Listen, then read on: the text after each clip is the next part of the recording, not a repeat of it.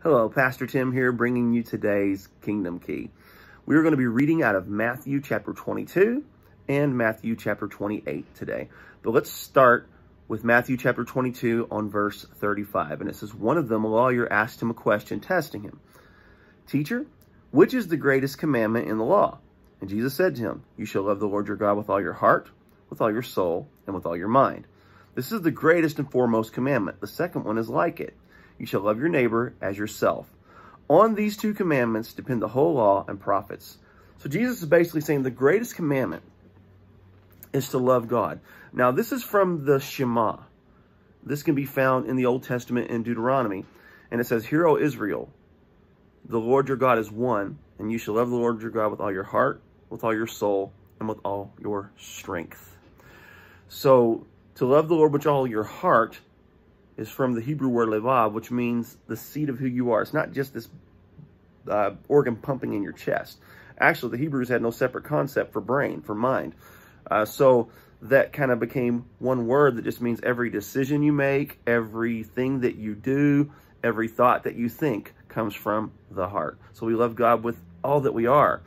To love the Lord your God with all our soul is basically, a lot of people think that soul is an immaterial part of ourselves, but soul in the Hebrew literally means you, everything that you are. And then to love the Lord your God with all your strength, it's the Hebrew term that means muchness. Now, it sounds kind of silly, but you kind of get it too. Muchness, just all of your effort, everything that you are, all of your strength. He says, this is the greatest and foremost commandment, but the second one's like it. Love your neighbor as yourself. See, there is no way that we can love others until we learn to love God because God is love. Love comes from God. And this idea of love that we have in modern culture today is really not love. That's just a feeling. Love is not a feeling. Love is an action.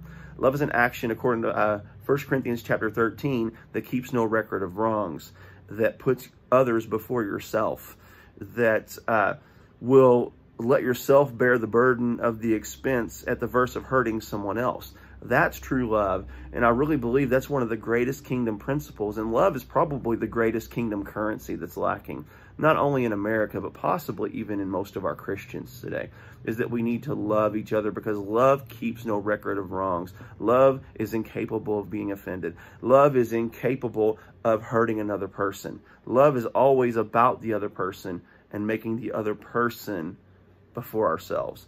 So, there was a man that tried to justify himself in a similar story of this. And he said, well, who is my neighbor? And Jesus defined the neighbor as anyone who is along your path who has been hurt. Uh, read the parable of the Good Samaritan, and that'll give you a good example of what love is all about.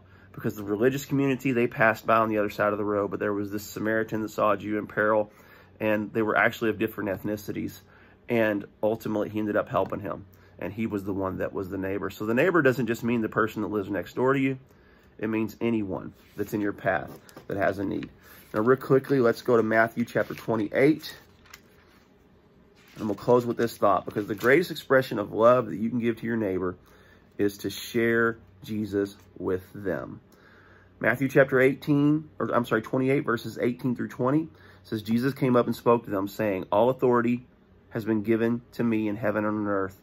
Go therefore and make disciples of all nations, baptizing them in the name of the Father, the Son, and the Holy Spirit, teaching them to observe all that I've commanded you, and lo, I'm with you always, even to the end of the age.